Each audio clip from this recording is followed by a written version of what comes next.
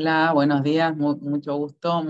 muchísimas gracias a todos por estar con, nosotros. Soy Liliana Hidalgo, directora general de la Cámara de Comercio e Industria Franco-Argentina. Les queríamos agradecer, bueno, antes que nada a los tres oradores y les agradezco muchísimo a, los presidentes de esta comisión, que son Alejandro Messineo, doctor Alejandro Messineo y doctor Máximo Bonchil, ambos socios del estudio Bonchil, a María Eglin, que coordina desde la Cámara esta comisión, es el tercer eh, encuentro de la Comisión Legal y Fiscal. El mes que viene tendremos muy probablemente un almuerzo, que es lo que solemos hacer en junio, como en diciembre. Eh, es una comisión que se reúne todos los meses con alrededor de un desayuno, si fuera presencial, en este caso totalmente virtual. A veces lo podemos hacer híbrido, dependiendo de las condiciones. Así que bueno, sin más, eh, agradezco mucho a los oradores. Como dije, le paso la palabra al presidente de la comisión, doctor Máximo Bonchil, quien va a presentar a la temática y a los oradores. Gracias, Máximo. Te paso la palabra.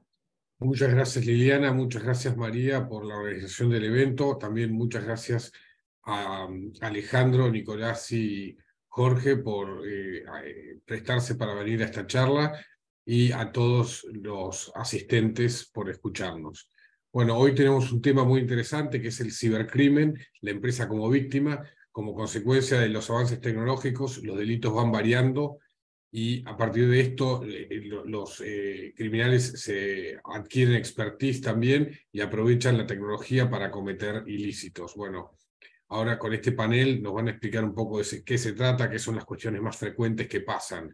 Es un panel muy interesante, está compuesto, los, eh, los voy a nombrar en orden de participación, Nicolás Durrie, que es socio del estudio Durrie Abogados, abogado recibido en la facultad, en la Universidad Católica Argentina, tiene estudios en el exterior, se especializa en Derecho Penal Económico, Criminal Compliance, Investigaciones y Recupero de Activos. Alejandro Muso, que es eh, fiscal a cargo de la Unidad Especializada de Investigación del Ciberdelito del Departamento Judicial de San Isidro, de la provincia de Buenos Aires. Es abogado, estudió en la, en la Universidad de Buenos Aires y tiene un posgrado en Derecho de Alta Tecnología y Derecho Penal de la Universidad Católica. Tiene una experiencia de 28 años en el Poder Judicial, 17 de los cuales fueron como fiscal criminal de instrucción y de juicio. Y Jorge Vila, que es el único no abogado, o el único que no estudió Derecho del panel, que es analista senior en ciberinteligencia en resguarde y es asesor técnico de la unidad, fiscal especializada de investigación de ciberdelitos de, de San Isidro. Bueno, sin más, le paso la palabra a Nicolás Durrié para que empiece con el panel. Gracias, Máximo. Buen día a todos. Bueno, voy a ir un poco rápido. Obviamente, ahí, ahí lo mío va a ser una introducción. Eh, después dejo la palabra para temas o delitos en especial que tienen relación más con las empresas eh, y que son más frecuentes un, análisis más detallado de los expositores que me siguen. Yo voy a dar un pantallazo general y algunas cuestiones prácticas. Digo que, no, no, voy a entrar en profundidad en temas penales, digo, acá no somos penalistas, acá la idea es que, se, que tengan quizás los, los abogados de empresas, tanto internos como externos, que tengan algunos puntos para cuando les pase esto, ojalá no, digo, algún cibercrimen, o, tengan conocimiento de esto, sepan por lo menos para dónde ir o tengan alguna noción ¿no? de cuestiones prácticas. Eh, a ver, voy a pasar toda esta parte introductoria, saben, estos son datos oficiales, los únicos que encontré, específicamente de UFESI, que es una fiscalía especializada en delitos informáticos a nivel federal. Acá se ve el aumento, sobre todo después de la pandemia, eh, de los delitos. 403%, esto ya lo sabemos, ¿no es cierto? lo vemos incluso cada uno de nosotros, no solo a empresas, sino de manera individual, tenemos o hemos sufrido o intentado, o al menos sí, un, intento eh, de fraude, de distintas maneras, phishing. Eh, bueno, acá son dos o tres puntos que quiero focalizarme, que son de suma importancia en estos delitos de cibercrimen, delitos informáticos, llamémoslos como quieran.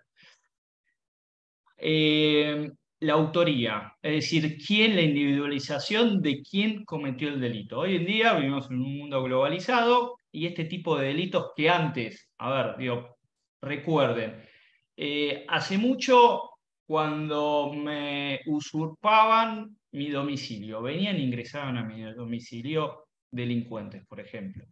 Eh, o venían y, me robaban información. ¿Qué venían? Con un disquete, un empleado infiel, alguien adentro de la empresa, ingresaban dentro de la empresa o cometían algún daño dentro de la empresa. Es decir, rompían algo. Bueno, hoy en día, digo, con Internet, todo eso, los delitos típicos que conocemos, es decir, el ingreso a mi casa, alguien ingresó a mi casa y me robó información. Bueno, hoy en día Internet. Internet cambió la modalidad de los delitos que antes se cometían en persona, yendo físicamente, y ahora a través de Internet. Y eso genera muchos problemas a la hora de denunciar estos hechos, individualizar a los culpables, eh, tanto para la empresa como las fuerzas que investigan esto, eh, las fuerzas de seguridad o el Ministerio Público Fiscal. Y el principal punto es la autoría, es determinar quién fue. Muchas veces, y eso lo, explicarán los expertos que me siguen, eh, es muy difícil y a veces casi imposible determinar quién es el autor. Las herramientas tecnológicas que tenemos son limitadas. Eh, bueno, eso hablarán el resto.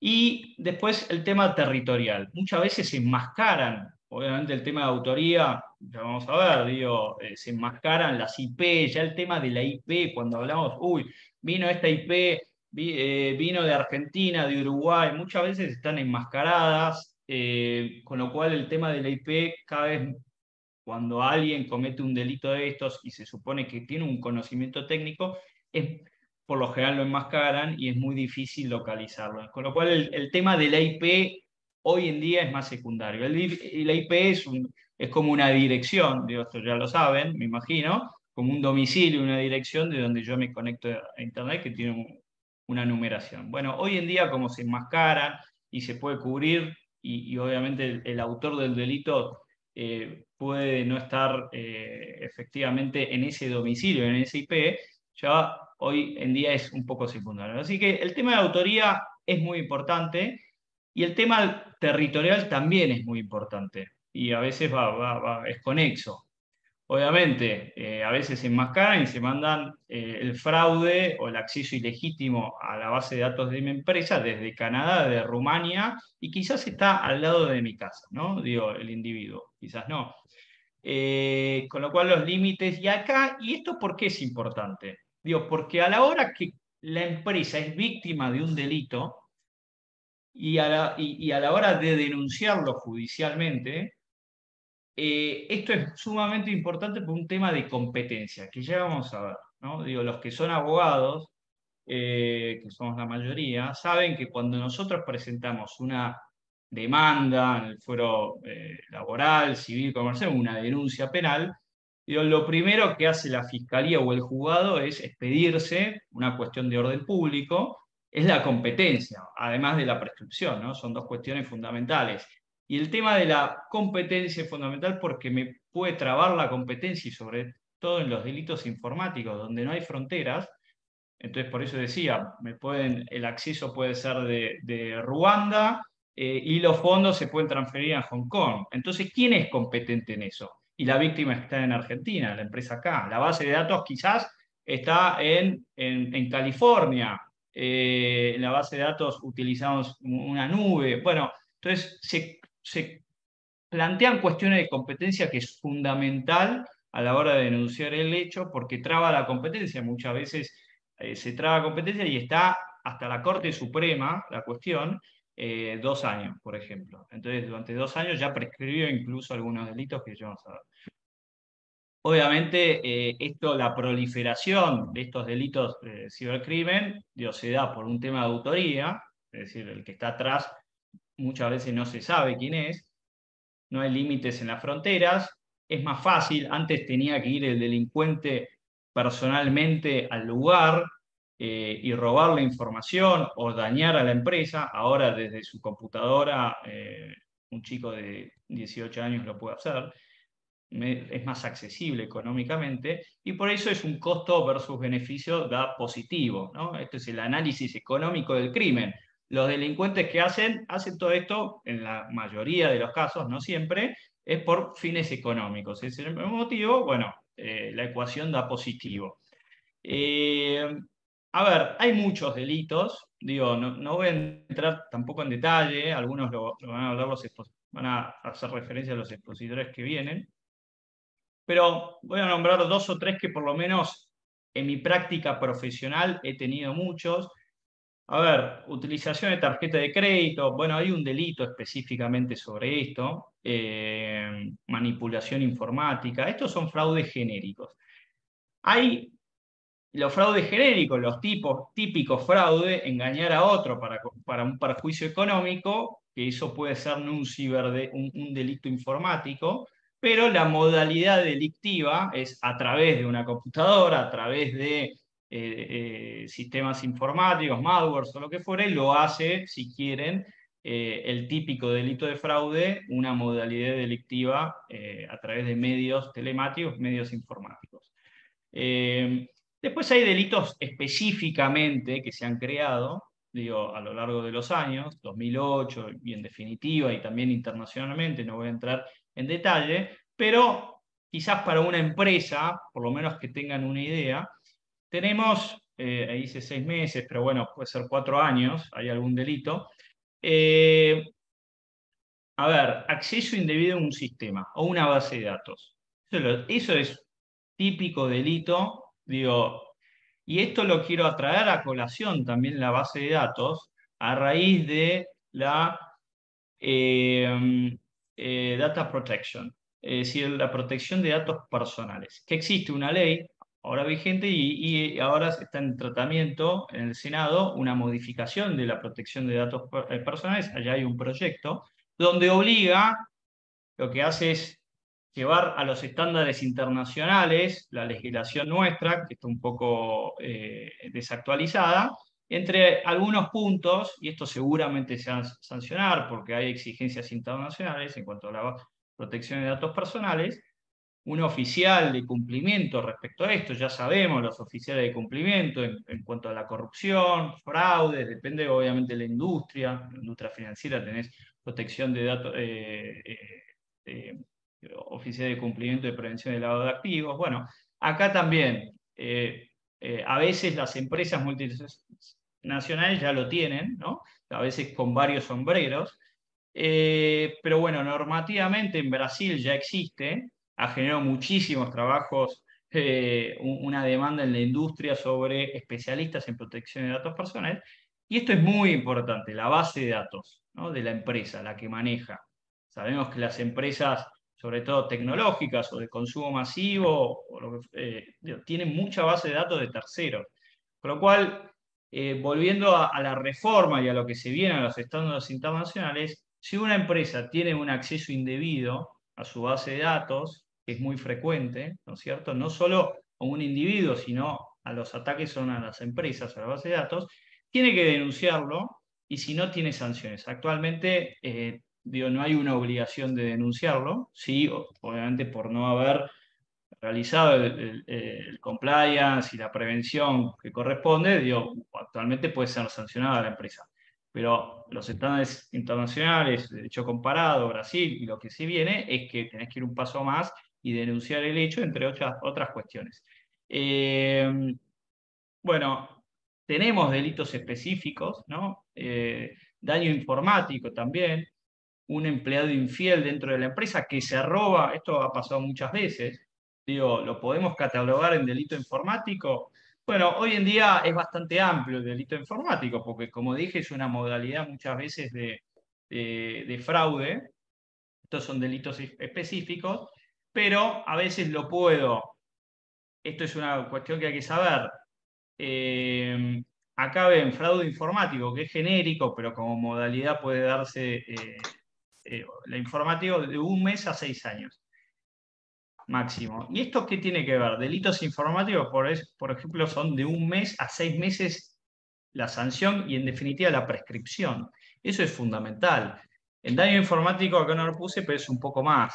son eh, dos años, o en el caso si es una base de datos pública son cuatro años, bueno, hay algunos agravantes. O, las empresas relacionadas con servicios públicos es un agravante también, es cuatro años.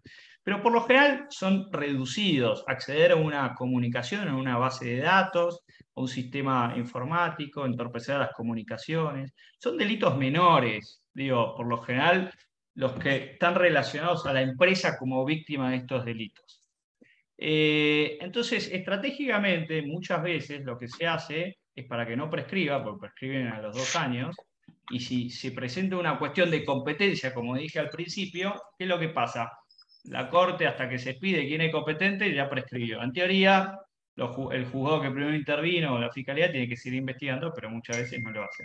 Entonces, eh, muchas veces estratégicamente lo que se hace es introducir dentro de una administración fraudulenta, si es un empleado infiel, si es un tercero un fraude, y estos delitos que son más específicos, por ejemplo, si acceden a mi base de datos, me roban información confidencial o los emails de, los usuarios que yo tengo, eh, y este empleado después se va a otra empresa, eso yo lo puedo catalogar como administración fraudulenta porque me robó información en perjuicio de la empresa.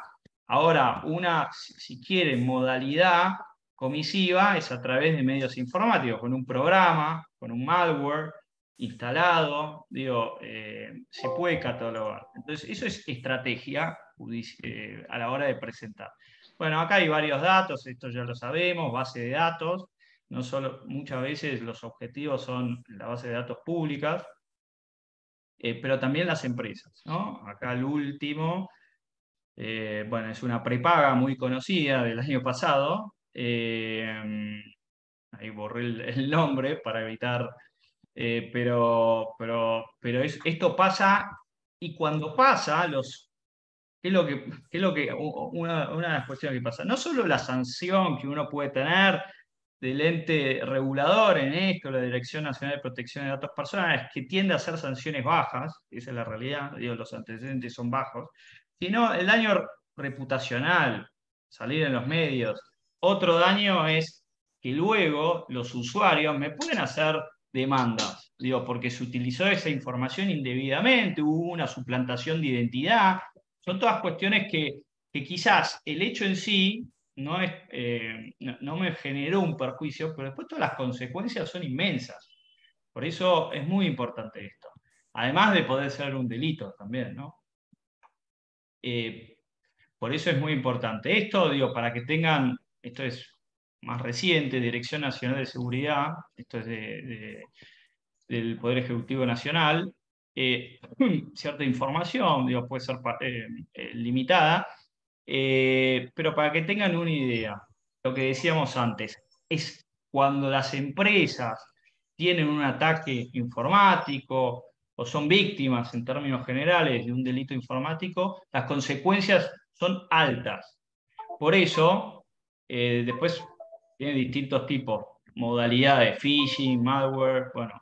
Eh, miren, las finanzas, los, los, que mayormente son atacados son empresas relacionadas o, lo que está relacionado con, con, el sistema financiero, eh, justamente porque ahí está el dinero, sin duda. A veces como víctimas, a veces el usuario como víctima y a veces son como medios para realizar los delitos y se utilice el sistema financiero, es decir, se traspasa esos dineros hasta que llega a una cuenta bancaria. Eh, hay, modalidades, hay obviamente eh, billeteras virtuales, después criptoactivos que hacen más fácil. Bueno, voy, voy, voy pasando, pues si no voy a llegar a los temas.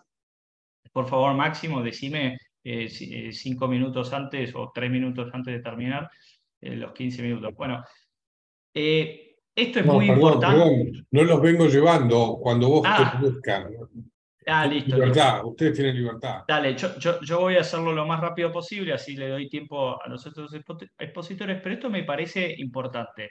Lo que dije que es alto. Las empresas, porque acá somos abogados de empresas, tienen que hacer un programa de cumplimiento, sobre todo las internacionales que tienen estándares internacionales, eh, y analizar los riesgos.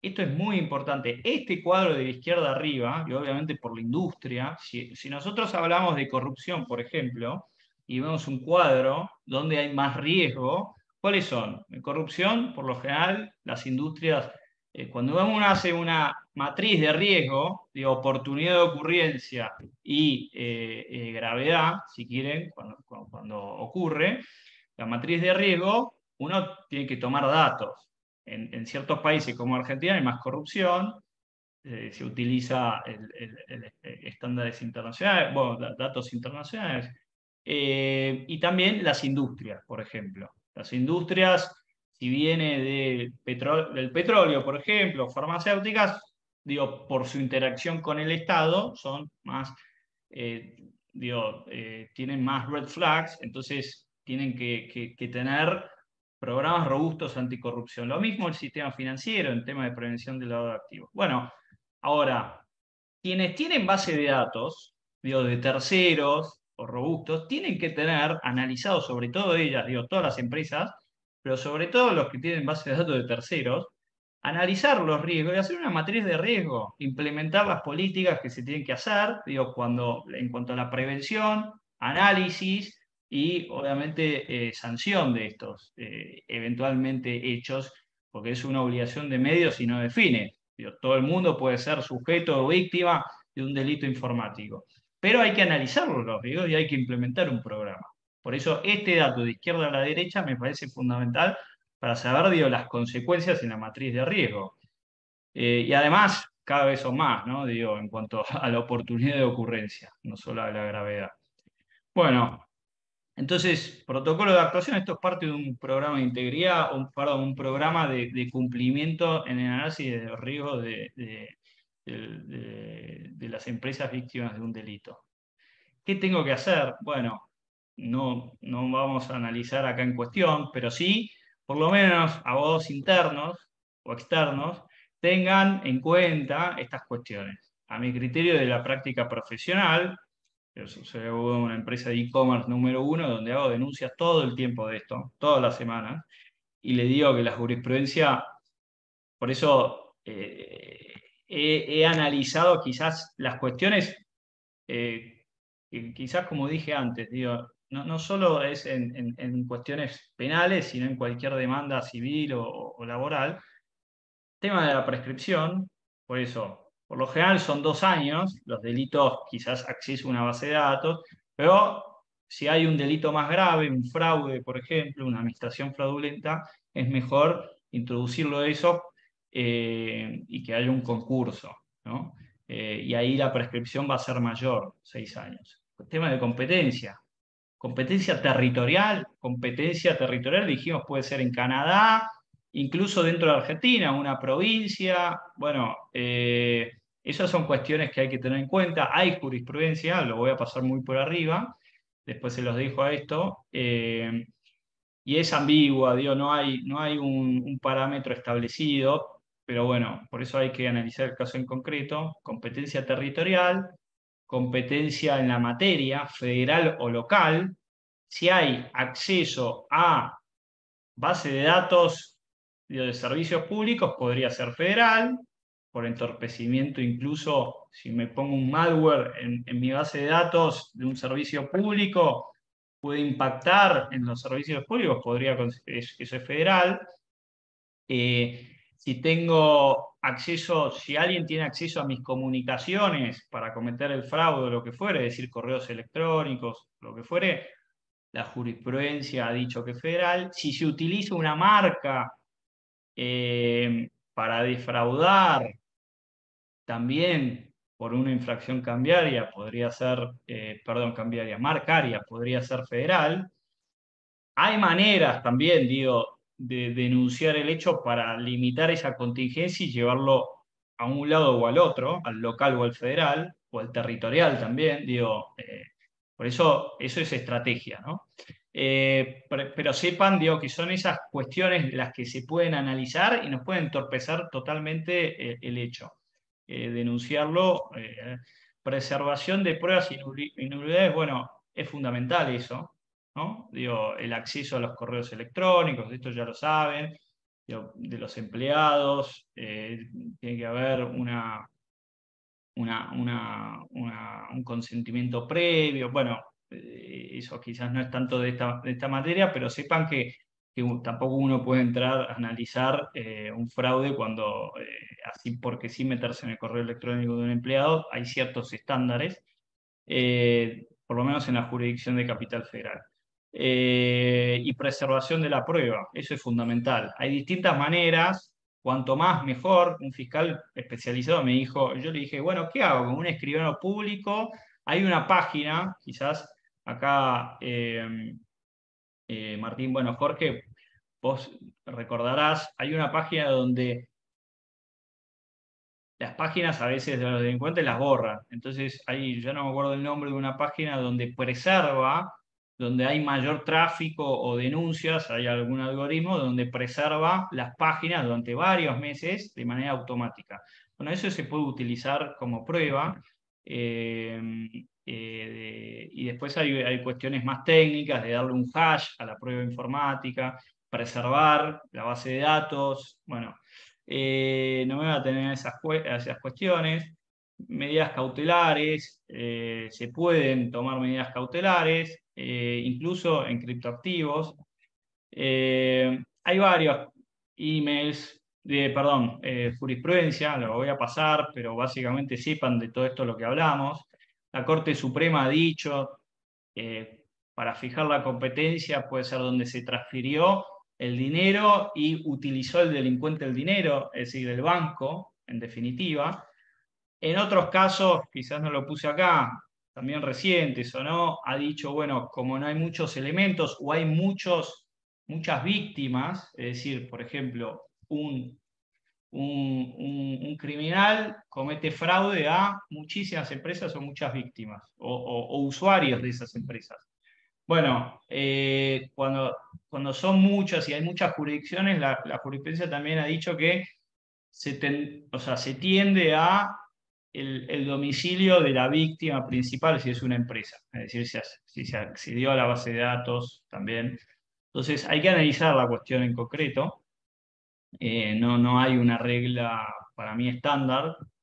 se ha dicho, se ha, se ha tomado economía procesal, ahí, lo pusieron, el primero que intervino, el domicilio del titular de la base de datos, bueno, eh, hay distintos criterios. Acá ya estoy terminando, creo que este es el último. ¿sí? Eh, el anteúltimo. Lo denuncio cuando la empresa tiene un acceso ilegítimo a su base de datos y hay una cuestión de data privacy, de un delito informático, sea por un interno o un externo, se vulnera el sistema. Eh, ¿Tengo obligación legal para denunciarlo? Bueno, solamente los funcionarios públicos, dice la ley, eh, eh, muchas, en algunas empresas, sobre todo relacionadas con servicios públicos, hay directores donde son funcionarios públicos, es decir, de ANSES, representantes del Estado, que son miembros de ese directorio, lo cual en teoría deberían hacer eh, alguna denuncia al respecto. Si tenés un servicio público, tenés deber de informarlo, por ejemplo, o cotizás en bolsa, tenés quizás deberes de información a, la CNB o lo que fuere. Eh, o a la dirección de datos personales si se vulneró datos personales, ¿no? que se consideren eh, críticos o, que se consideran datos personales. Eh, y ahí pongo caso de empresa, bueno, proyecto de ley de protección de datos personales, básicamente dice que se puede sancionar no establece un delito, pero sí una sanción administrativa. Es conveniente denunciar defensivo o proactivo. Muchas veces, por daño, ¿qué es lo que hacen las empresas? Son víctimas de un delito y no lo denuncian, no lo hacen público. Bueno, prefieren guardarlo abajo de la, alfombra, por, porque puede ser público, por el daño reputacional, a veces es peor incluso, ¿no? ahí mencioné un caso de una prestataria de servicios donde se hizo público antes de denunciarlo. Eh, ahora hay maneras de denunciar estos hechos. Es fundamental donde preservar la prueba, donde tenemos fiscalías eh, especializadas. Acá falta tu fiscalía, Alejandro, pero bueno, tenemos en la ciudad de Buenos Aires, en, eh, eh, en, el orden federal también. Son fiscales y Alejandro Muso, que ahora va a decir quién es, que, son especialistas, son fiscales especializados en temáticas, en este caso, en delitos informáticos o cibercrimen. Con lo cual, depende de la jurisdicción, uno tendría que ir a, e, esa fiscalía y hablar con el fiscal. Obviamente, si es de gravedad, hablarlo. Son receptivos. Eh, el acceso a la justicia, obviamente, si la empresa es víctima, eh, eh, la fiscalía tiene que abrir las puertas y establecer una, una colaboración público-privada en relación para, para justamente sancionar a estas personas que, que vulneraron los sistemas de la empresa. Y hay que conversar con ellos sobre el caso, es decir, si, si, si, le ven algún problema, si van a tomar el caso, el tema de la competencia, cómo lo ven, esto se habla, sin duda. Eh, bueno, ¿y qué más? Esto, no, esto lo paso, pero este fue un caso del año pasado que tuve donde justamente la empresa no quería hacer, digo, que, que, que, que se tenga la preservación de la prueba, se hizo la denuncia, y, el problema de la empresa es que queríamos que venga el, jefe Gorgori a, mi empresa a, a, tomarla. Siempre hay un personaje de los Simpsons para cada situación, ¿no? Eh, que venga a mi base de datos, a mi empresa, haga el análisis o lo hago yo proactivamente. Sin duda, es preferible que uno aporte toda la información eh, a la fiscalía le ahorra recursos y nos ahorra también tener quizás a la policía eh, en, nuestra casa que somos víctimas y además eh, tenerlas a ellos puede generar ciertos problemas eh, en cuanto a la visibilidad. bueno, muchas gracias. Ahora le paso a, los que me siguen la exposición. Buenas, ¿cómo andan? Esperen un segundito, ahí compartido pantalla. Eh, presentación, acá estamos. Bueno, bueno, Alejandro Muso es mi nombre. Voy a tratar de, ocupar mis 15 minutos, ¿no? Como Nico, que anda mal con los horarios. Siempre hace lo mismo. Le gusta hablar mucho, muy bien, lo felicito. Como buen abogado. Bueno, Nico planteó un tema que eh, yo le, agregaría algo, que es, eh, en algún momento todos nos van a generar algún tipo de, ciberdelito, vamos a ser víctimas de algún ciberdelito. Yo la, pregunta eh, que pondría sobre la mesa, en realidad la afirmación desde mi experiencia, no es si vamos a ser víctimas, sino cuándo vamos a ser víctimas. 2020 a esta parte surgieron eh, en abundancia actividades ilícitas de todo tipo. Yo lo que les estoy mostrando acá, vayan viéndolo con detalle, hay cosas que no van a entender, seguro la mayoría, pero son las modalidades que hoy se están ofreciendo de comisión delictiva vinculada con el ciberdelito económico. Separemos, ¿no? Ciberdelito que tenga que ver con todo lo que es grooming, eh, trata de personas, temas sexuales. Por un lado, ese tema no lo vamos a tratar, mi fiscalía es especializada en temas económicos, es decir, todo lo que es el ataque a empresas o a personas de origen o con vinculación financiera. Y lo que les estoy mostrando acá en estas pantallas son todas las modalidades delictivas que hoy el mercado ofrece. ¿Cómo las ofrece? Las ofrece de un modo, digamos, muy abierta eh, al, público. En la interfaz previa a la pandemia era la Dark Web. La Dark Web necesita de algunos parámetros muy puntuales donde se ofrecía, digamos, estos servicios que tienen que ver con conocimientos técnicos específicos de las personas que entran a ese lugar por el tema del navegador que tiene que usar y las preservaciones eh, personales de, los, datos que uno puede llegar a tener en, sus dispositivos cuando uno navega ahí. Obviamente estás navegando en un lugar donde trafican datos personas que saben y personas que son malintencionadas. Con lo cual, se buscó en los últimos tiempos una plataforma que preste este, este, esta posibilidad de anonimicidad, ¿sí? pero a la vez eh, tenga una interfaz amigable con el público en general, para personas que no están habituadas. ¿Qué se consiguió? Se consiguió Telegram. Telegram es eh, es el cáncer de esta época, desde el punto de vista de lo que es el data black market y el ofrecimiento de datos. ¿Por qué? Porque permite esconderse detrás de, de una arroba, es decir, uno puede poner un nickname y ocultar su teléfono, inclusive ahora sacó una funcionalidad más avanzada que es directamente no vincularlo a un teléfono. De modo tal que no nos permite la justicia avanzar y ver quién está detrás, como posiblemente sí lo, podemos hacer con otras plataformas, como la más usada, WhatsApp, por ejemplo. Sumado a esto, por políticas de privacidad, pongámosle, entre comillas, ¿no? política de privacidad, Telegram tampoco presta colaboración con la justicia, con lo cual tampoco nos puede informar ni quién está detrás, ni cuáles son los datos transaccionales, de eventualmente si la, cuenta es paga, o eh, eventualmente ni siquiera nos puede informar ni un IP, no nos quiere informar ni un IP. Detrás de esto se oculta toda esta gente.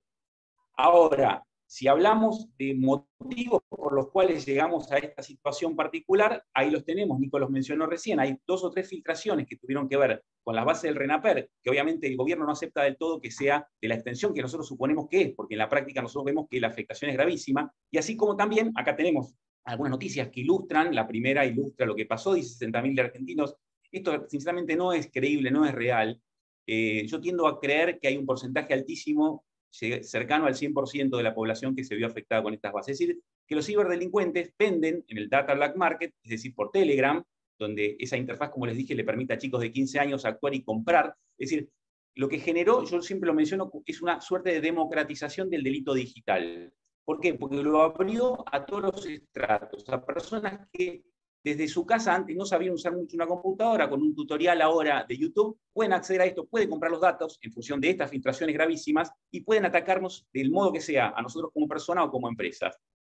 Como verán, de un lado acá tenemos la, filtración que mostró el hacker que atacó esa base de datos del RENAPER. Oportunamente hay un montón de figuras para mostrar que efectivamente fue del grado del que fue, es decir, amplio y extendido en la población, y esta es la oferta de la venta, que fue por unos pocos dólares, eh, exfiltró esta base de datos, y bueno, tenemos el desastre que tenemos hoy gracias a esto. Se sumó posteriormente, el 2020-2021, la violación de, una, de la base del SISCOF, que es el Sistema Unificado de Información Policial, donde tiene absolutamente toda nuestra información, nuestros autos, nuestros teléfonos, eh, si tenemos algún tipo de, de problema judicial, problema comercial. Eso sumado a las bases públicas que ya existen Públicas me refiero públicas eh, bajo, bajo paga, es decir, por ejemplo, el Veraz, el Gnosis, eh, el Dateas, que genera también una suerte de eh, información conglobante para hacer este tipo de, ataques, estamos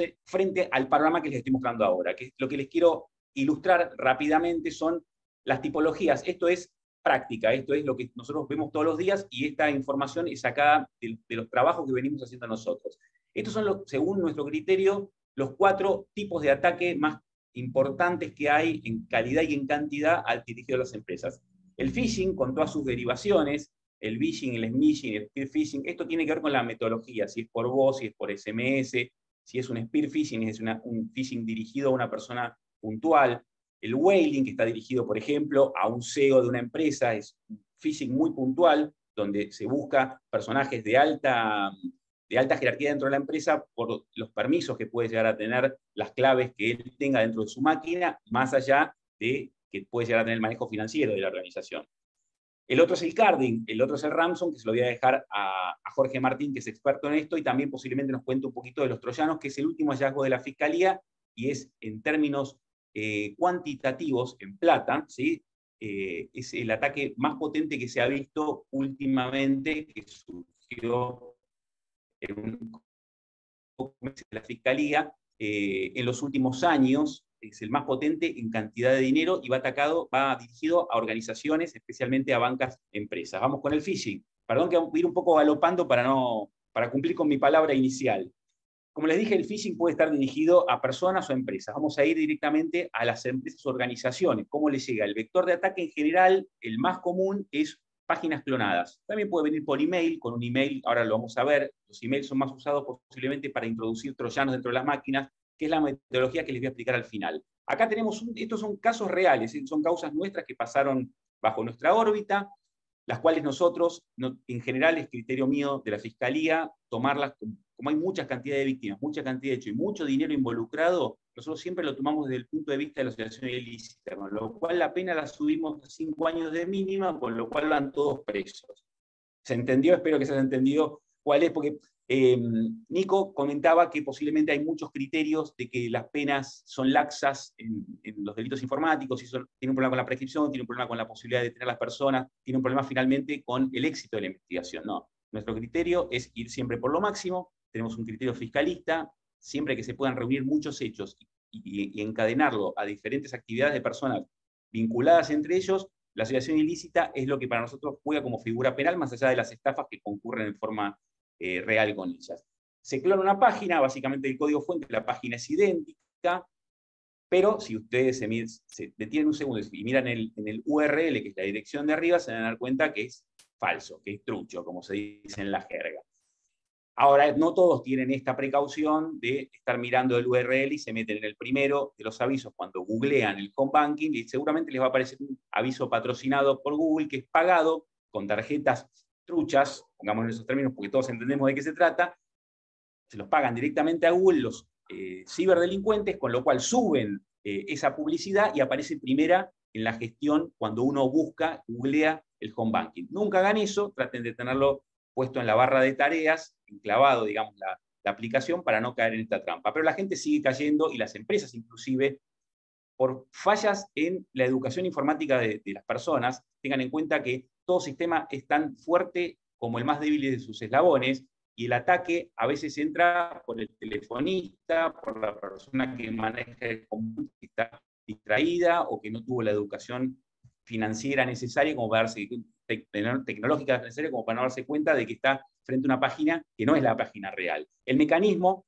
como verán, es un hecho real, el mecanismo es la víctima se mete en el home banking, lo googlea, entra a la página falsa, llena un formulario que, se lo, que la página falsa se lo emite como pop-up, es decir, le aparece una pantallita que dice llena el formulario para verificar su identidad, pero detrás de todo esto, de la página falsa, está nuestro muchacho, el hacker, tomando control de toda esa información.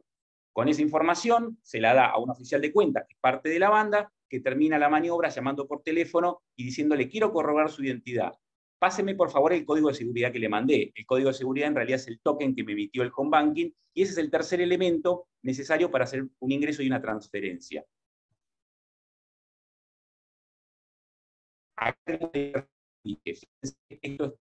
Esto es casos reales, de acá se sacó este caso en concreto, cuando yo les mostré al principio un montón de actividades delictivas diferentes, les mencioné los logos. Los logos son la representación gráfica de la empresa. Cuando uno ve, vende un logo, lo que está vendiendo es una cuenta de un banco ya hackeada. Pongamos esos términos hackeada, no es técnicamente así, pero ya el ciberdelincuente obtuvo esas credenciales. Al lado, fíjense, dice abajo salieron los ricos logos en COSUD, es decir, esto es un hacker que ya hackeó logos, es decir, cuentas bancarias de home banking de Cencosud y las está vendiendo.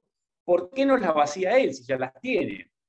¿Sí? No las vacía porque el vaciado de cuentas, es decir, toda la estructura de cuentas mulas por donde sale esa plata, es la parte más redituable del negocio, pero la más peligrosa porque es la que nosotros primero buscamos. Voy a pasar de largo este video porque es largo, pero esta organización era manejada por este señor que vivía en una mansión en zona sur, escondido, le hicimos un, rastreo con drones desde la fiscalía, teníamos una foto previa de identificación, como se ve a la derecha, de un tatuaje puntual, acá se logró identificar que esta era la, misma persona que estaba detrás de la maniobra, con lo cual se terminó en un allanamiento, y para que vean la entidad de lo que, es, lo que son las maniobras de, de estas personas, les voy a mostrar un video del día del allanamiento. ¿Cómo vivía esta persona? Esta persona está dedicada solamente a esta actividad.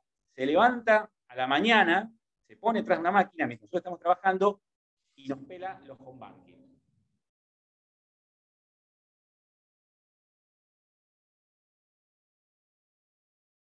Él vivía junto con dos personajes colombianos que tras los allanamientos se fugaron ambos a Colombia, quienes eran los que eran los técnicos clonadores de las páginas web y lo asistían tecnológicamente para poder hacer el vaciado de cuentas. Él tenía una estructura de vaciado de cuentas donde tenía un montón de cuentas mulas. Cuentas mulas son cuentas bancarias, cuentas de cripto, cuentas de banco tradicional, con suplantación de identidad. Obviamente le pagan a esas personas para que entreguen los datos biométricos para poder abrir esas cuentas.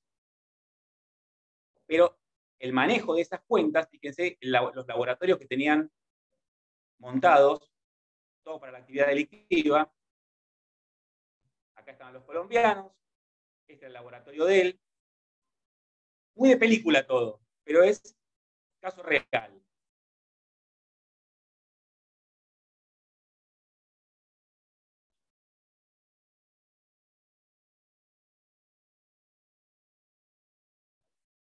algunas máquinas secuestradas.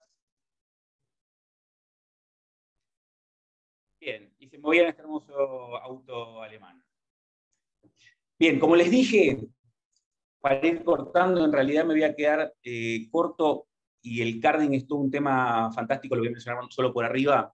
Eh, las cuentas mulas que reclutaba este señor las hacía en barrios, eh, barrios de, digamos, con, gente necesitada de dinero. Efectivamente buscaba miles de personas, porque tenía miles de cuentas, lo hacía con una estructura piramidal, con eh, firewalls en el medio, personas que operaban para que no se pueda detectar que él estaba detrás, esas personas se llaman reclutadores, reclutaban a esta gente, le pagaban 50 mil pesos por abrir cinco tipos de cuenta, es decir, abrían de banco tradicional, fintech y criptoactivos, entregaban sus credenciales a cambio de 50 mil pesos, esto multiplíquenlo por cientos de personas, eh, esas credenciales finalmente las terminaba manejando una persona que era el coordinador que estaba detrás del dueño de la casa. Toda esta estructura es tendiente a no poder identificar a la persona que estaba arriba de todos. ¿Se entiende? Había como una suerte de cortafuegos en el medio, que eran estas personas que se fueron allanando y deteniendo. Ahora todas estas personas están detenidas, algunas están con prisión domiciliaria. El carding tiene que ver, es otra de las metodologías delictivas, las voy a pasar rápido, pero también se ofrece vía Telegram y lo que es es obtención de tarjetas de crédito de todos nosotros, ¿sí? Por eh, hackeo de base de datos, puede ser por ransomware, o puede ser un hackeo técnico de base de datos, o por phishing. Por ejemplo, la página de telepeaje que estuvo dando vueltas hace poco en los medios, donde ilustraban eh, cómo se clonaba una página donde uno tiene que meter la tarjeta, pasa también con las páginas de streaming, por ejemplo, de Netflix, donde uno eh, se mete, pone los datos de su tarjeta, la, obviamente no hace el pago, lo que se hace es absorber desde el otro lado esa información financiera y después venderla de este modo. También hay filtraciones de las bases de datos donde uno tiene tarjetas de crédito, por ejemplo, donde tiene débitos automáticos, cuando se hace un ransomware a una empresa de estas características, lo primero que se busca son estos listados de tarjeta, y también, esto no, no debería suceder, pero sucede, hay filtraciones internas de lo que son eh, los emisores de las tarjetas de crédito, dentro de lo que es el ecosistema de tarjetas de crédito, y estos de vez en cuando hay, y nos damos cuenta porque se ofrecen de a 500 o a 800 por semana. Esta es una banda grande, fíjense acá en las tarjetas, fíjense la cantidad, y tenemos por cada una de las líneas toda la, tarjeta con sus 16 números completos y con sus montos en efectivo y en cuotas. Uno elige el número, lo paga, lo paga por su CBU o lo paga con cripto y finalmente obtiene. Estas son las consecuencias de esta causa grande. Esta causa fue conocida como flaquita, después si a alguien le interesa lo puede buscar en los medios. Fue una cosa muy interesante, porque fue de las primeras donde a gran escala se logró aprender a un montón de personas esto generó eh, patear un hormiguero. El hormiguero que se pateó fue el de Telegram, vinculado al carding. Eh, empezaron a desaparecer. Estos son los anuncios que ellos mismos publicaban, desesperados por pasar de las cuentas CBU a, a, los criptoactivos, pensando que nosotros no tenemos capacidad técnica para rastrear criptoactivos, pero efectivamente en el último año se han perfeccionado eh, algunas personas en mi fiscalía y en varias otras fiscalías especializadas en herramientas de traseo, que son herramientas, eh, hay dos herramientas muy importantes americanas, que son Chainalysis y TRM, y hay una europea que es de Mastercard, que se llama CipherTrace, que son herramientas muy potentes que sirven para el rastreo de la blockchain y llegar eh, a descubrir a la persona que está dentro del hash de transacción. Como ven, estas son las consecuencias, como le decía, la desesperación de esta gente y cómo bajó el cúmulo esto lo publicaron, que me parece gracioso, pero finalmente es, es como una metáfora de lo que ellos sintieron que les estaba pasando. Eh, sintieron realmente el golpe, de los grupos de 20.000 personas pasaron a grupos de 5.000 y menos. Termino con esto rápido, esto es último que se la Fiscalía, esto es lo más peligroso de todo, esto es grave, y esto es el problema que no tiene demasiado remedio. La prevención en educación para no meter el dedito en un mail eh, que no tienen que meter, que es el vector de, contagio donde se bajan los troyanos, especialmente a las empresas.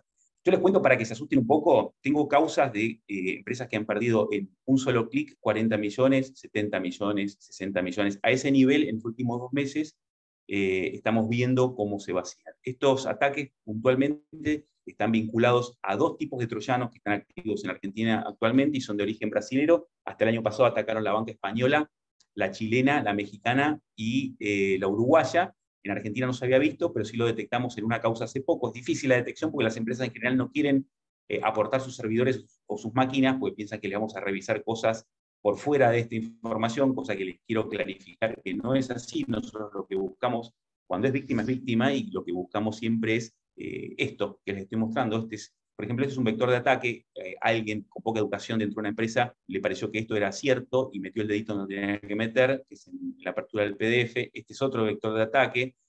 Uno que es abogado mira dos minutos y hay nombre de jueces conocidos, pero es una, es una ensalada de información, aparte tiene términos que no se usan jurídicamente, con lo cual uno lo ve. Ahora, si la persona está manejando el com banking, aparte abre sus mails y aparte abre los mails corporativos, la misma máquina, cosa que debería estar en asepsia total, es decir, con banking por un lado, los mails por otro, sucede este tipo de cosas. Apretan el dedito, bajan el troyano, ni se enteran, y esta es la interfaz que le aparece. Como si tuviesen un error en, lo que es la, el, el, manejo del, del home banking. Esto es una advertencia de Windows que aparece constantemente cuando la máquina tiene algún problema. Pero cuando la reinician, chau, desapareció el dinero dentro de la cuenta. Estamos hablando de mucha plata. Estos son los informes que se hacen desde la Fiscalía, donde se detectan, como les dije, los dos virus que están dando vuelta hoy son, ahí, lo pueden ver arriba, Gran Doreiro, Gran Doreiro, es muy interesante, hay videos en YouTube si lo quieren ver y asustarse un poco, si los recomiendo, digo, el susto también es, es bueno como prevención, es una buena herramienta para no andar libre por la vida poniendo un dedito donde no hay que ponerlo. Eh, estos troyanos entran y tienen una etapa de persistencia que hace que no nos enteremos en el momento posiblemente que, cuál es la macana que nos mandamos, pero nos vamos a enterar a corto plazo. Bueno, eh, me extendí un poquito, pero espero que les haya servido. Les mando un saludo a todos. Gracias, Alejandro. Le pasamos la palabra entonces a Jorge. Bueno, buen día, muchas gracias. Voy a compartir cuando Alejandro deje de compartir. A ver, a ver. Ahí está, perfecto.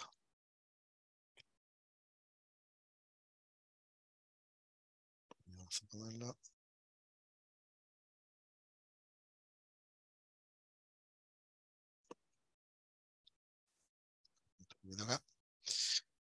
Bueno, bien. Mi nombre es Jorge Martín Vila, este, soy asesor técnico de la UFEIC y analista senior de inteligencia en resguarda.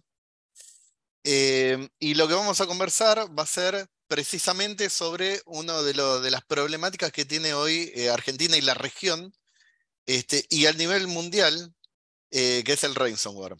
¿Y qué impacto tiene esto en las corporaciones?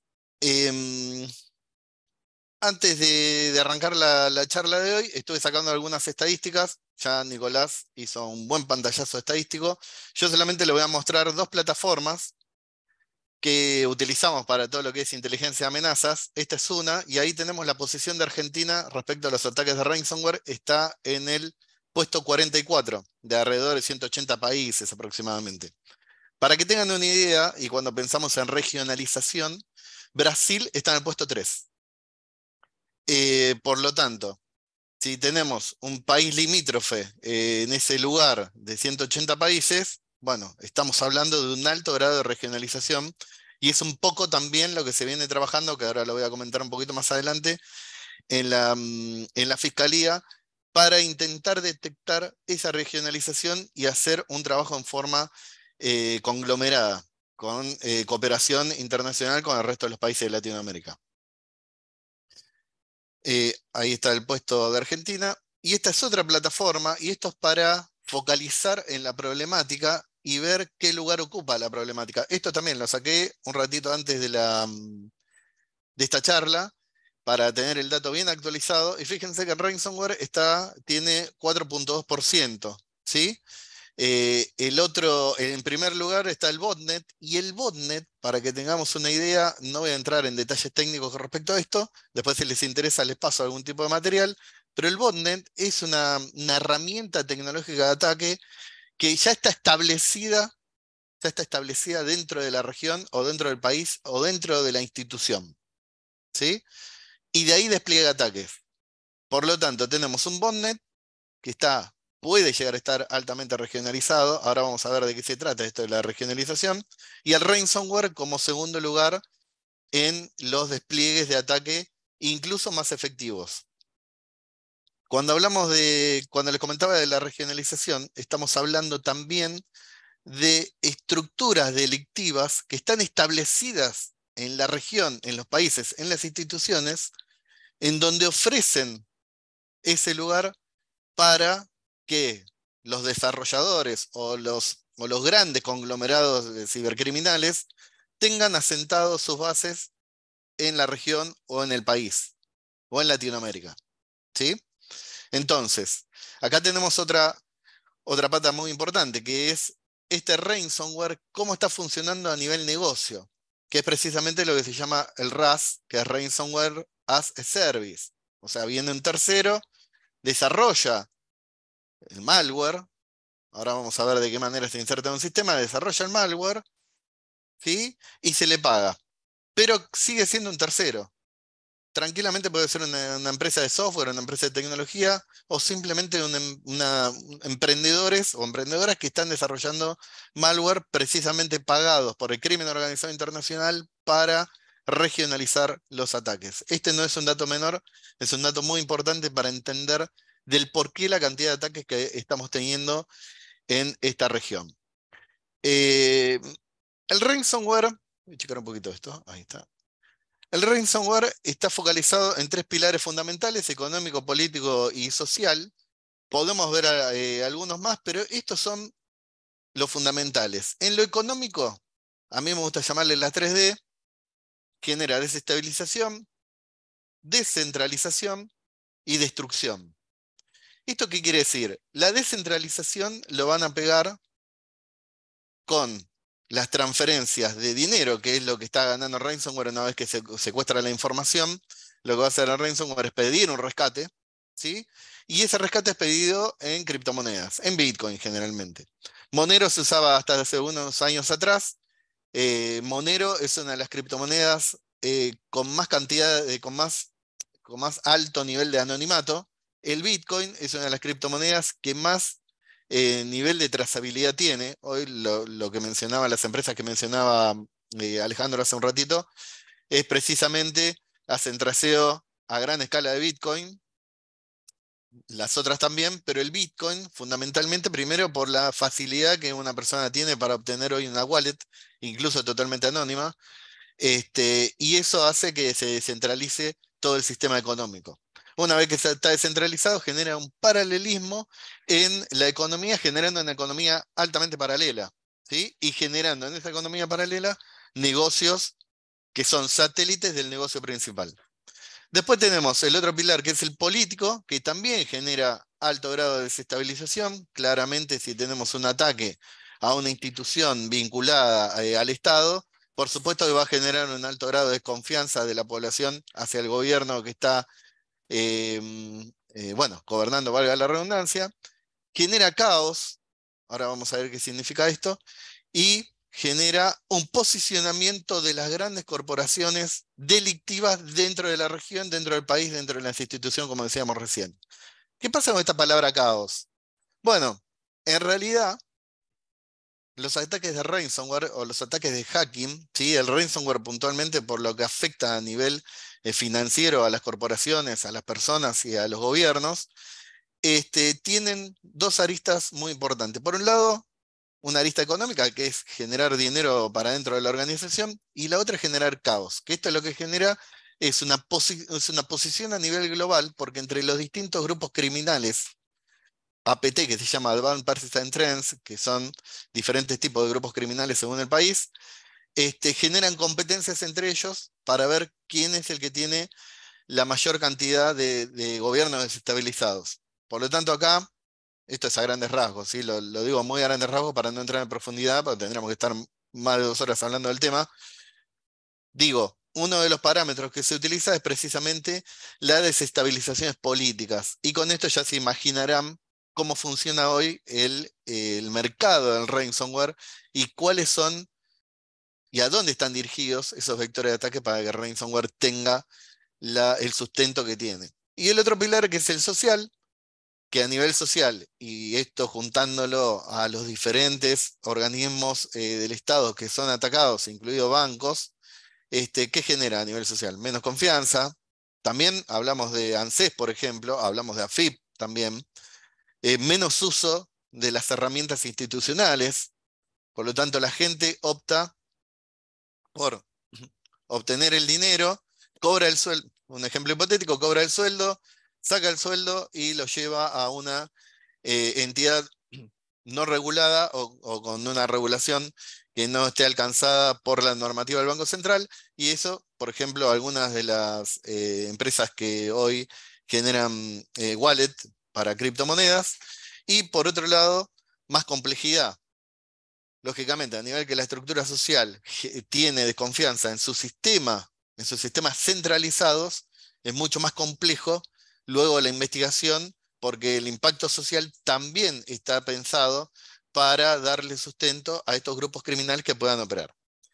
Después tenemos sistemas políticos, sistemas financieros, sistemas de salud y sistemas de servicios. ¿Sí? A esto, ¿cómo le llamamos? Infraestructura crítica. Todo esto que estamos mencionando acá, y esto también para que tomemos dimensión a dónde está enfocado ransomware, no estrictamente a un dispositivo, una computadora a nivel personal, sino que en realidad está enfocado a escalar privilegios, tanto económicos, políticos como sociales. Y algunos de los ejemplos que ya se estuvieron dando, el RENAPER, y fíjense qué interesante esto que eh, Alejandro también eh, en su presentación tiene una imagen similar. Fíjense la comunicación. ¿Qué es la comunicación? Que es precisamente, este, en este caso es este blog. Este blog eh, hoy está de baja, pero tiene por lo menos 10 clones con la misma estructura. Y esta es la parte que me gusta dar eh, malas noticias, porque uno piensa o pensamos en forma errónea que esto solamente lo podemos eh, ver en la Deep o en la Dark, o tenemos que entrar por Tor, o tenemos que entrar por alguna aplicación que nos lleve a encontrar este tipo de información. Bueno, sepamos que no es así. Eh, tanto Telegram como este tipo de foros no están en la Deep Dark, hay otros, pero no necesitamos ninguna aplicación especial, simplemente googlear y con algunas quizás palabras especiales para que Google tenga la potencialidad y nos brinde esta información para encontrar estos grupos criminales. ¿Esto qué quiere decir? Y grupos criminales lo, estoy hablando desde el punto de vista del que secuestra la base de datos, la publica y cobra el secuestro, hasta la persona que compra la base de datos, por ejemplo, en el caso de en la causa de Flaquita que, que comentaba Alejandro, este, y lucra con esa base de datos, precisamente para alimentar a su propio círculo delictivo. ¿sí? Entonces tenemos esas dos aristas.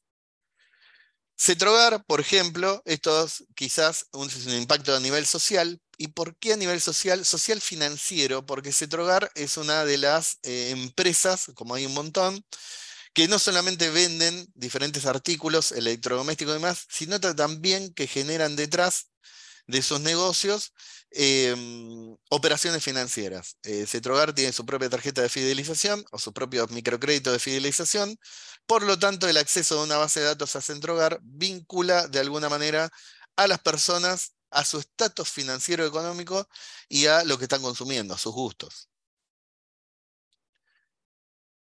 Vamos a ver qué es un ciclo de ataque y cómo comienza esto, porque tenemos un problema aún mayor, que es que cada vez que vemos las noticias, o cada vez que nos llegan las causas a la fiscalía, o cada vez, en mi caso, aparte quizás me llegan causas en forma privada, ¿qué sucede? Nos llega el caso de ransomware. Y para que tengamos en cuenta una particularidad, cuando vemos un ransomware, estamos viendo el final de un ciclo de ataque. ¿sí? El ataque tiene que terminar de alguna manera, por lo tanto, este, el ciclo de ataque va a terminar con este ransomware. ¿Sí? Pero ¿cómo comienza? El ransomware va a comenzar en la mayoría de los casos en un phishing, en un spam, email. Ahí está alguien poniendo algo en el chat. Yo voy a entrar un poquito para, para ver qué cobertura. Ah, bien. Va a comenzar por un este, mm, Ahí está, por un phishing, ahí Alejandro mencionaba algunas de las, de las tipificaciones respecto a este tipo de ataque. Este phishing va a estar operando en forma dirigida, entre comillas, dentro de un sistema. ¿sí? Acá es donde aparece el botnet, este que decíamos al principio.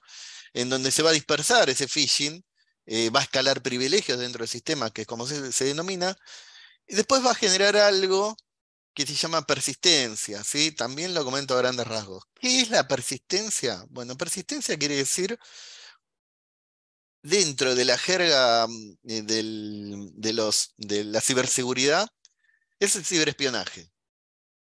Y esto es mucho peor que el despliegue del ransomware. Porque el ransomware, una vez que ticleamos, a todos nos pasa y a todas nos pasa, ticleamos distraídamente en el phishing y sabemos que va a terminar de alguna manera con alguna problemática en el equipo o en la estructura, en la infraestructura en la que estoy. Lo que perdemos de vista es la persistencia. Cuando un atacante está persistiendo, lo que está haciendo es aprendiendo del sistema en el que está. ¿Sí? ¿Qué quiere decir aprender en el sistema que está? No solamente obtener datos tecnológicos, sino datos de comportamientos de usuario. Por lo tanto, cuando va a generar el próximo ataque, ya aprendió regionalmente cómo funcionan o cómo funcionamos dentro del país, dentro de la institución y a nivel personal. A medida que esto sucede, los ataques son extremadamente más eficaces. Y por supuesto, una vez que persistió, como tiene que cerrar el ciclo de ataque, va a terminar con el, el ransomware, que es netamente un código informático que encripta eh, diferentes archivos, carpetas y demás, lo conglomera, lo sube a una nube y eso termina publicado en un sitio en la Deep o en la Dark. Entre paréntesis, la descarga de esas bases de datos no suelen ser en la Deep y la Dark, sino que la Deep y la Dark suelen tener los enlaces a esas bases de datos y las bases de datos terminan estando en la Clean Web, que se llama. Un dato de color, para que tengamos en cuenta, la persistencia dura aproximadamente eh, entre 100 y 120 días. Por lo tanto, cuando vemos, por ejemplo, el ataque de RENAPER al Ministerio del Interior, a Migraciones, a la FIP, al ANSES, no podemos perder de vista que el atacante estuvo alrededor de entre de 100 a 120 días en ese sistema aprendiendo qué es lo que sucedía, no solamente con el sistema, sino con las personas involucradas en ese sistema. Y algunos tipos de phishing, fíjense, bueno, en este caso el Banco Central, y fíjense esto para generar un poquito de concientización también, fíjense que tenemos un botón azul. Lógicamente prestarle atención a estos detalles en el momento que nos llegan estos phishing, si no tenemos configurados los parámetros de spam en nuestro mail, eh, posiblemente entra a la bandeja de entrada, ingresamos, más si estamos eh, dentro de un entorno económico financiero, nos llega un mail de Banco Central y no nos detenemos a ver la, la estructura de ese mail. Y una vez que ticleamos el botón, ingresamos y es muy posible que entremos al sitio, al sitio del Banco Central. Es más, le diría que en un 99,9% vamos a entrar al sitio del Banco Central. Pero ¿qué sucede en el medio? En el medio va a pasar que se genera un túnel, vamos a llamarle, y cuando uno pasa por ese túnel, lo que va a empezar a descargarse es software. ¿sí? En segundo plano, que se llama dentro de los tecnicismos de la informática, no nos vamos a dar cuenta y van a aparecer algunas pantallas de error o no. ¿Sí? Después, por otro lado, tenemos otro tipo de, phishing. Estos pueden ser phishing más dirigidos. Cuando hablamos que este tipo de phishing es más dirigido, cuando, por ejemplo, nos llega al WhatsApp. Y ahora vamos a ver cómo llegan al WhatsApp. ¿Sí? Pero también tenemos un enlace. ¿Esto qué quiere decir? Esto no funciona si no hay una interacción con el usuario. Si no existe la interacción humana cuando llega el phishing, es muy difícil que se despliegue el ataque. Esto también es para tenerlo en cuenta y para generar buenas políticas de concientización dentro de las empresas. Y algo que comentaba Nicolás al principio, eh, con lo cual yo eh, concuerdo muchísimo, es que lo primero que tenemos que hacer para entender que estos ataques no van a suceder es eso, es precisamente ser consciente que nos va a pasar, nos van a atacar. Lo primero que hay que hacer, la empresa, la corporación, el estudio, la fiscalía, el juzgado, las instituciones, es entender que el ataque va a ser inminente. Después, que el, que el ataque tenga éxito, es otro tema. En este caso, este es, una, es un phishing que le llegó eh, Alejandro, que estuvimos analizando en estos días, que tienen las publicaciones en LinkedIn, se les interesa. Pero fíjense, es una estructura interesante, más allá del, enlace que después profundizamos en el enlace para entender cómo era la estructura y qué estaba detrás de ese enlace. Eh, fíjense que eh, qué bueno que volviste, no queríamos que te vayas, etcétera, que generalmente el Em, el speech que utiliza Netflix para hacer la retención de clientes, etcétera, etcétera. Em, pero claro, lo importante de esto es saber cómo hacen los atacantes para obtener este tipo de datos. Hablando respecto a la evidencia digital, utilizan las mismas metodologías que las personas que estamos trabajando para el lado de la luz o, del lado del bien. ¿sí? Em, hoy existen herramientas que permiten descargar automáticamente todo el sitio web de, eh, la víctima. ¿sí? Por lo tanto, se pueden armar phishing totalmente eh, dirigidos, pero ya de la estructura del sitio web en donde eh, está desde la estructura del sitio web de, la víctima. O sea, puedo clonar todo el sitio web y llevarlo a un hosting aparte para armar toda la campaña de phishing. Y después, por otro lado, más allá de la interacción que ahí dice siguiente, configuración de tarjeta de crédito o débito, que es eh, una vez que tocamos siguiente, bueno, ya nos aparece las opciones para cargar datos. Y ahí tenemos uno de los enlaces. Fíjense que el enlace acá, lo que nos puede llegar a hacer ruido es este reslink.1. Eh, Nosotros profundizamos un poquito más con respecto a este, este enlace y queríamos ir un poco más allá en la fiscalía para entender, por un lado, la regionalización y por otro lado, el armado de bases de datos de fieles o, de fidelización, precisamente para que los atacantes utilicen luego esa base de datos para, por ejemplo, hacer ataques dirigidos por WhatsApp. ¿sí? ¿Y cómo lo hacen? Por un lado, hablando de la regionalización, cuando buscamos los datos técnicos de ese enlace, de ese link, de ese dominio, nos encontramos que tiene varios nombres de servidores que están focalizados en la región. Brasil, Chile, Uruguay, Bolivia, este, Perú, México.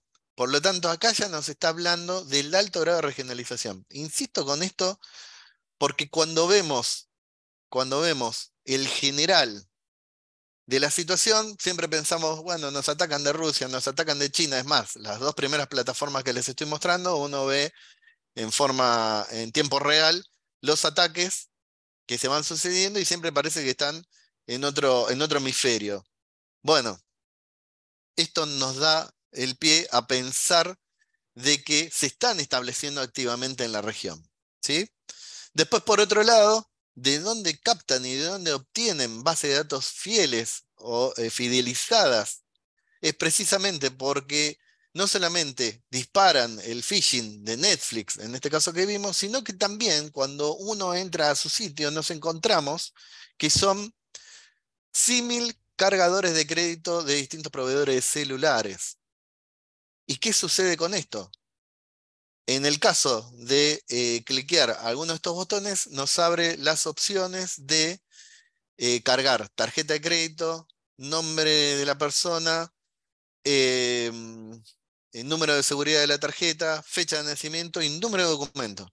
¿sí? Imaginémonos que alguien desprevenido ingresa a este sitio y dice, bueno, voy a cargar mi, celular, mi, mi cuenta prepago, etcétera, y ingresa de esta manera. ¿Y por qué lo digo de esta forma? Porque el crimen organizado o el cibercrimen organizado trabaja en todas las esferas eh, publicitarias y marketineras que existen. O sea, pagan patrocinio para estar en los primeros lugares de Google. Entonces, si yo soy una persona desprevenida, entre comillas, y digo, estoy apurado, ¿sí? Y digo, bueno, ¿dónde puedo cargar mi celular?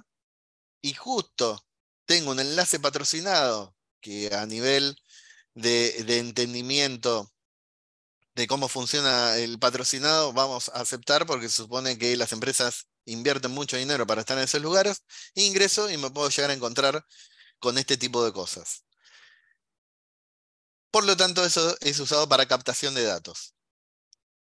Y por otro lado, esto más allá del orden de la investigación, que es la aplicación de ingeniería social, y por qué eh, nos damos cuenta de que estas cosas están armadas desde el crimen organizado, están armados precisamente para, para desplegar ataques, es desde la ingeniería social y del lado de la investigación, es precisamente en la sintaxis, en las expresiones, en cómo utilizan los vocablos, en cómo utilizan la, puntuación. Fíjense que a Resling, en este caso le falta la I, cuenta con los beneficios propios de tu empresa. O sea, esto tranquilamente puede ser un translate de, mm, netamente de Google.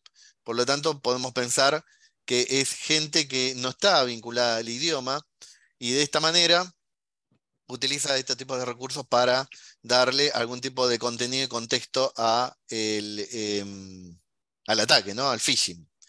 Eh, Jorge, perdón, debemos ir finalizando, tenga mucho. No, ya estaba ahí. Me...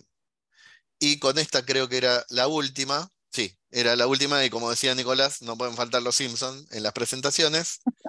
Y eh, ahí estamos. Traté de hacer lo más rápido posible. Voy a dejar de compartir. Ahí está. Ahí está, para dar un pantallazo general.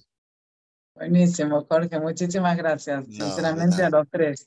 La verdad que estuvo muy, muy linda la charla. No sé si hay alguna pregunta. Eh, María, me dijiste que hubo una, pero la contestó ya Alejandro, ¿no? Sí, había una de Mariel y Alejandro ya la pudo contestar, así que muchas gracias. Perfecto.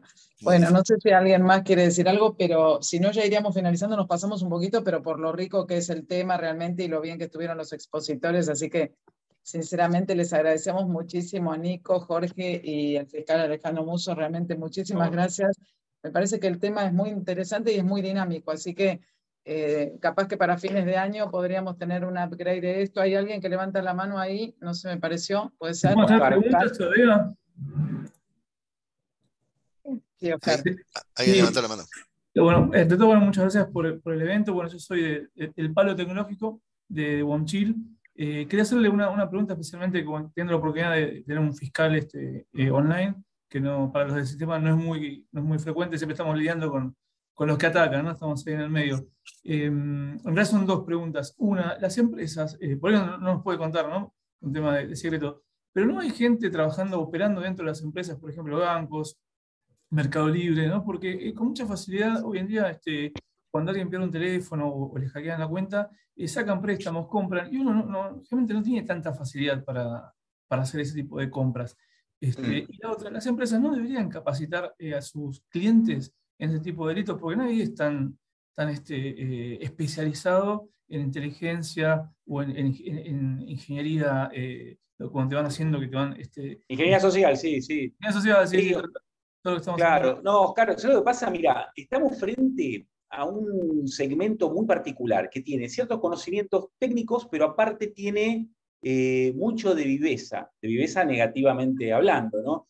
Son estafadores, están todo el tiempo buscando la vulnerabilidad eh, mediante ingeniería social, es decir, del tío 4.0, básicamente. Siguen, te siguen y te siguen 120 días, como decía este ahí Jorge, y te la pegan, no sé.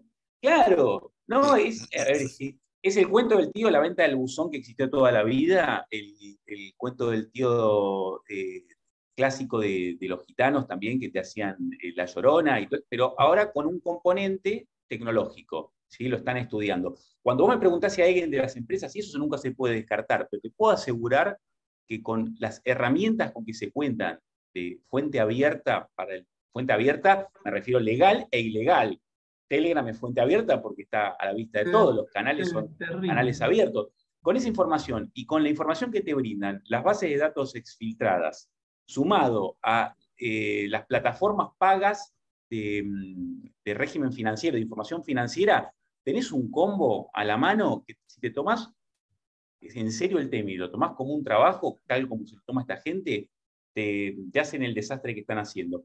El tema de los teléfonos, a ver, son nichos puntuales, no todos hacen todo, pero esa información es lo que nutre todas las actividades. El tema de los teléfonos está recontra estudiado. Si te arrebatan el teléfono activo, es es el acabose. Yo te digo, yo me tiro desde un puente si me sucede eso, porque es lo peor que te pueden hacer, te lo liquidan. Del mismo modo que si eh, te, hace un SIM swapping, que eso ya ni siquiera vos tenés la posibilidad de hacer algo diferente, porque ya es un error de la compañía eh, que tiene laxos, ahora ya no, pero hasta hace poco, con todo el lío que se armó con el ministro de Seguridad porteño, que ha, generado que las compañías tomen más en serio esta verificación previa a quién está pidiendo el nuevo chip, si te hacen eso, otro acabose. Es decir, son situaciones, perdón que soy un poco catastrófico, pero yo veo las consecuencias atrás y veo a la gente cómo viene a la fiscalía llorando. pero, a ver, no descarto lo que decís vos, no lo hemos visto puntualmente ni a gran escala, lo he escuchado que haya sucedido, pero sí sucede. Pero la realidad, con todo este bagaje de información que está dando vuelta, eh, gente que tiene tiempo y ganas lo puede cometer. Y e inteligencia, ¿no? Porque hay, hay estratos, ¿no? De, digamos, hay gente muy profesional que nos cuesta a nosotros mucho hacer la eh, ingeniería inversa para identificar cómo fue la maniobra. muchas gracias. Por favor. Bueno. muchísimas gracias a todos, realmente súper interesante el tema. Eh, muchísimas gracias a todos los que participaron, a María por, por coordinar, a Máximo Alejandro y a todos y les deseo un buen día. Que estén bien. Saludos. gracias. a todos. Gracias, a todos. Hasta luego.